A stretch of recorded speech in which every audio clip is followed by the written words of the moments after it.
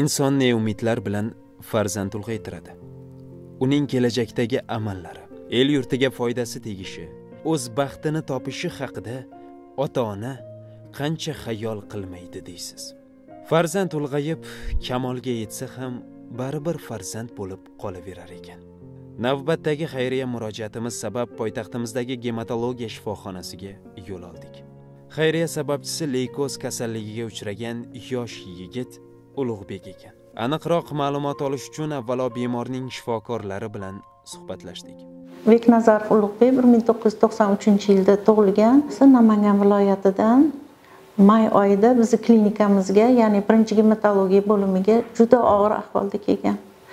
Buni og'irligi ahvolini bu tana haroratini ko'tarilishi antibiotiklar bilan tushmasligi tanada ko'karishlar burundan milkdan qon ketishi taloq va jigarning kattalashuvi bilan boshlangan. Viloyatlarda davolangan yaxshi bo'lmagani uchun bizni klinikamizga og'ir ahvolda olib kelishgan.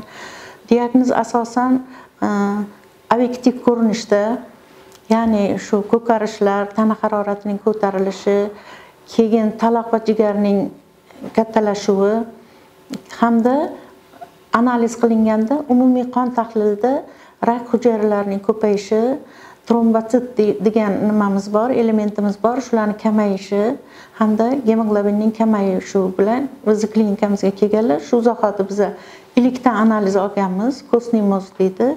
Ilikdan analiz olganimizda to'qson to'rt foiz e, rak hujayralarini tashkil qilgan. Ularda o'tkir limfoblast leykoz bo'lgan uni sitokemik morfologik tahlillardan ko'rganmiz hamda bemorga e, zudlik bilan davolash ishlarini boshlaganmiz. Davolash ishlari o'ta murakkab lekin bu davo jarayonida bir elliktacha odamni qoni tufayli bu bemorni ancha yaxshilash stadiyasiga o'tkazganmiz. Bu davolash turi birinchi kurs ikkinchi kurslarga nisbatan juda yam og'ir o'tadi chunki organizmda rezervlar qolmagan bo'ladi.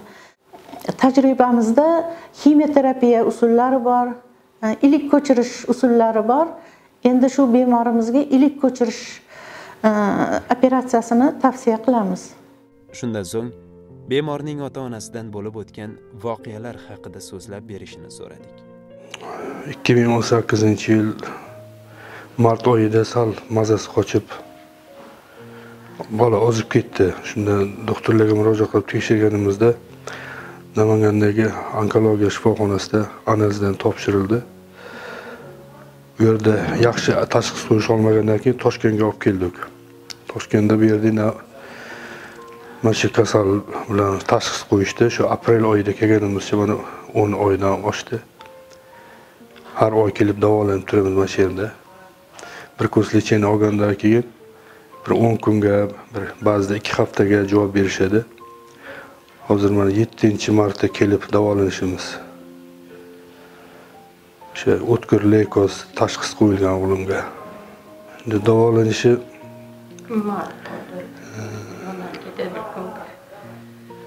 shu ilik ko'chirish muolajasi bor ekan jarrohlik muolajasi shu bilan yaxshi bo'lib ketadi deyishyapti.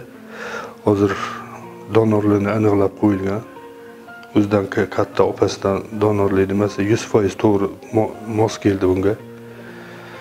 Shu buni bizda qilishmas ekan toshkentda turk chet eldagilarga turkiyada yoki moskvada qilinar ekan shunga juda katta mablag' talab bo'lar ekan qilishyapti. Shu sakson ming dollar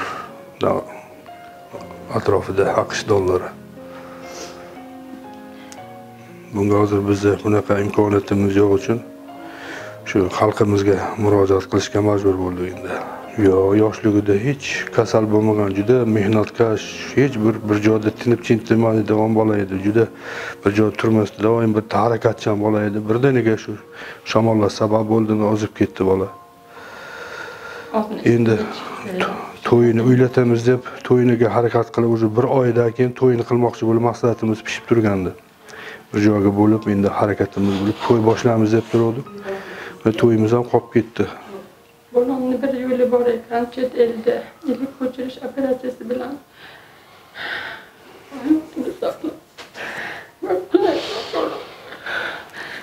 juda katta mablag' ketadi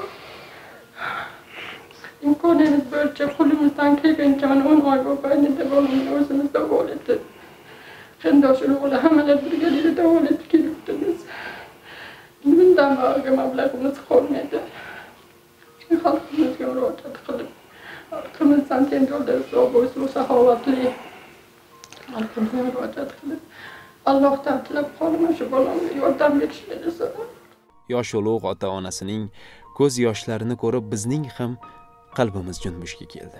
Ortga qaytar ekanmiz bemorga shifo ota onasiga esa sabr tiladik. Ammo dard qancha og'ir bo'lmasin ketadigan xarajat qancha katta bo'lmasin allohning mo'jizalari oldida bu to'siqlar hech narsa emas. Qadrdon vatandoshlar ushbu oilaning og'ir kunlarida dastak bo'lib hamyurtimiz ulug'bekning shifo topishi uchun ko'makda bo'laylik. Zero bu taqdirning achchiq qismati barchamiz uchun imtihondir.